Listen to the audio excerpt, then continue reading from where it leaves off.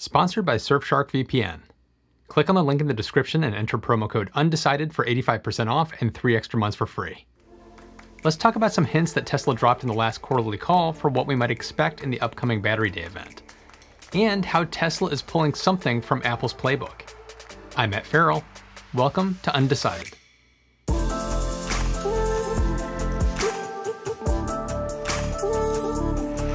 Last year, I put out videos on why I thought Tesla bought Maxwell Technologies and also dove into the details of the Jeff Dahn Research Group's paper about the million mile battery. And since those videos came out, there's been even more news from Tesla around their purchase of Hibar, details on the team working on Project Roadrunner, and the CATL partnership in China to supply lithium iron phosphate batteries for the Tesla Model 3 that's produced there. But more on that in a minute. All of those moves are providing pretty interesting indicators for where Tesla's big Battery Day announcement may be heading.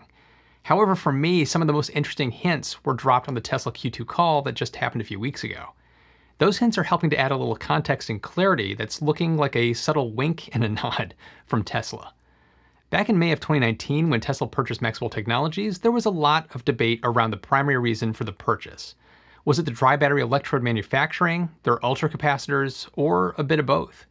To me, it seemed pretty clear that it was primarily about the dry battery electrode manufacturing technique and something they said in the recent Q2 call reinforced that. The, real limitation on Tesla growth is uh, is cell production at, at an affordable price.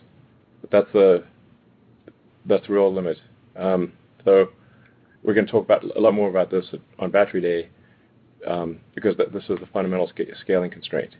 Tesla's production and sales rate is increasing dramatically, and being able to supply their car and energy business with enough cells is their biggest hurdle. During the Model 3 ramp up, they were cell starved and had to redirect production from the Tesla energy business into the car side of the business to make it happen. Batteries built using the DBE method show greater than 300 watt hours per kilogram with a path to over 500 watt hours per kilogram. By comparison, Tesla's current battery technology, which is considered one of the highest specific energies available today, is believed to be around 250 watt hours per kilogram. That means this technique could add about 23% to Tesla's current battery energy density, with room to double it. But it's not just about increased energy density, it's also about cost reduction and production capacity. The typical battery production process involves using wet, toxic chemicals to create the cathode, which then has to be dried and baked off. That involves a lot of floor space and ovens for that step in the process. With the DBE method, you can skip that step completely, which results in a 16 times production capacity increase. You're able to produce a lot more batteries in the same amount of factory space. You also save cost by eliminating that step as well for about a 10 to 20% cost reduction. It's a one-two punch for rapidly scaling up the number of cells for each factory, as well as potentially getting some energy density gains on top of that. Pair the dry battery electrode method with Hibar Systems that they acquired late last year, which is a company that specializes in automated assembly systems, including vacuum filling systems for lithium ion batteries, and you can start to see Tesla's automated battery factory taking shape. Which brings me back around to Jeff Dahn's research team that's been quietly working behind the scenes on a new battery chemistry for Tesla. Now, this one is still in a black box of secrecy, but I've spoken to several people who are far more familiar with the tech and the players involved, and each one has said virtually the same thing to me. You're gonna be blown away. Now, take that with a grain of salt, but I'm inclined to believe some of the insider hype I've been hearing here. This is pure speculation on my part, but I don't expect this to be a solid state battery that kind of tech is still years away. I think an updated chemistry is going to be an evolution of where lithium ion battery tech has been heading, but it's going to be a jump in longevity and energy density. Again, this development pairs nicely with Maxwell Technologies DBE for a, what would that make it? A one, two, three punch? So I think it's safe to say that we should expect an improved battery for longevity and energy, but don't get your hopes up for a car that will go 600 miles. This is something I've been saying for a while and I get asked about it a lot. I actually had some lengthy and lively conversations about it with folks at Fully Charged Live in Austin, Texas at the beginning of, wow, face to face conversations. That feels like a completely different era. Anyway, I've been pushing the point of view that we should expect similar ranges and roughly the same amount of money. The big play here is scale and cost. Fewer cells in a battery pack reduces the weight, which also helps with the range, as well as frees up those cells to produce more cars, power walls, megapacks. You get the idea. To me, the following quote was the biggest hint of that on the Q2 call.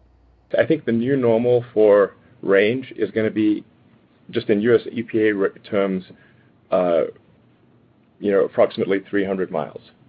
I think 300 is going to be really, or close to 300 is going to be the new normal. You know, close 500 kilometers, basically.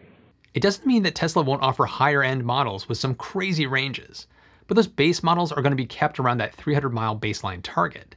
It's good for business and for consumers. It avoids the Osborne effect, which Tesla could be in danger of if they oversell the hype for this new battery technology and it isn't available across the board in every model.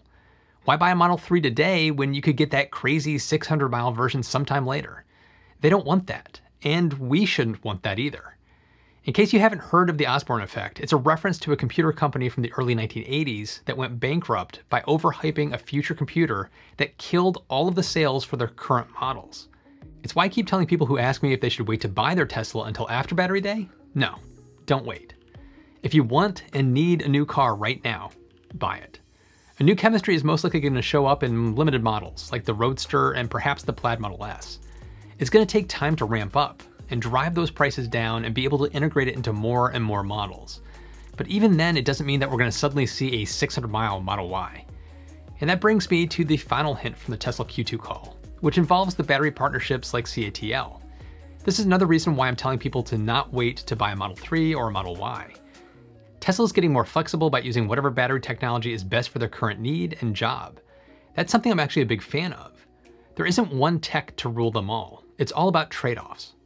What we're seeing with our passenger vehicles is that our powertrain efficiency and uh, sort of tire efficiency, you know, drag coefficient, like basically all of the things that, like, you know, our HVAC, uh, go, going to a heat pump, basically our, our, total vehicle efficiency has gotten good enough with uh, Model 3, for example, that we actually are comfortable having an iron phosphate battery pack in Model 3 in China. Um, and you know that that'll be in volume production later this year.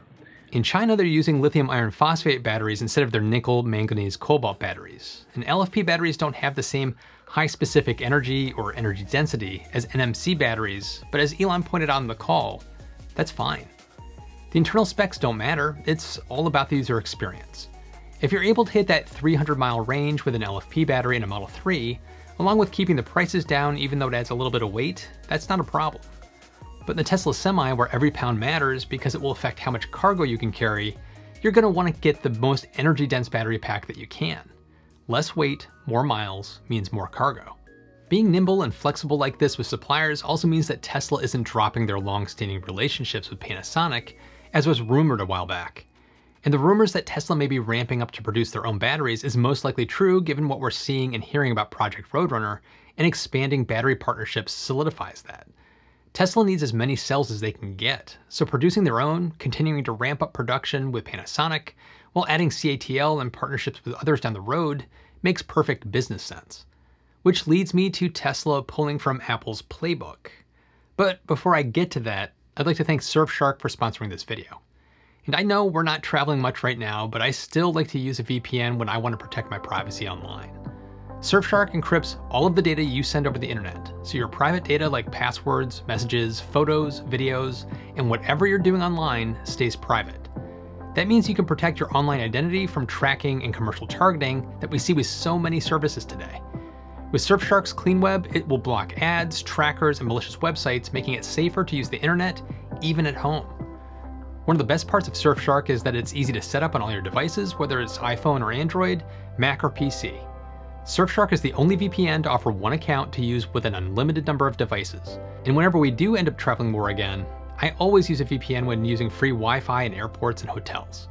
Surfshark offers a 30-day money-back guarantee, so there's no risk to try it out for yourself. Use my code to get 85% off plus 3 extra months for free. But hurry, this offer is only available for a little while longer. Link in the description below, and thanks to Surfshark and to all of you for supporting the channel. I know people hate it when I make this comparison, but Tesla does have a lot of similarities to Apple. And stick with me on this before starting a flame war in the comments. Tesla may differ from Apple in motivation, but purely from an operational point of view, there's a lot of similarities. Apple's vertical integration strategy centers around hardware, software, services, and retail. Owning that full stack allowed Apple to bring the iPhone to market years before the competition, or to transition all of their mobile products and software to 64 bit architectures way before anyone else. Also, to create a smartwatch that has no real competition to this day. Tesla is pulling off something very similar with their vertical strategy, which also involves hardware, software, services, and retail, but adds manufacturing to that mix. But taking a page from Apple's playbook, they're opening up and expanding their battery supply chain.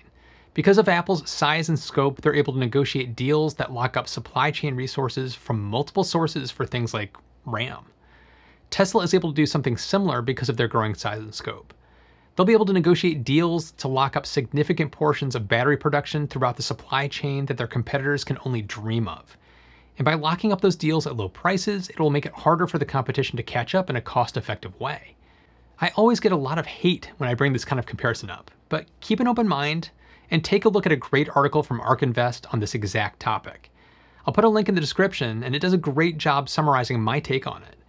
My favorite bit from the article is showing Apple's revenue trajectory from when they started to claw themselves back from near bankruptcy in the early 2000s to now, compared to where Tesla has been going from 2014 to now. We're watching the next iPhone moment happen in real time here. Unless Tesla has to push battery day again due to health concerns, there's going to be some really exciting news coming out of Tesla at the end of September. We should be seeing an unveiling of Project Roadrunner, which is going to have a heavy focus on battery manufacturing and the incredible efficiencies that Tesla has been able to gain. We're most likely going to be hearing more about the new chemistry that's going to unlock the full potential of everything from the new Plaid Model S to the Tesla Semi.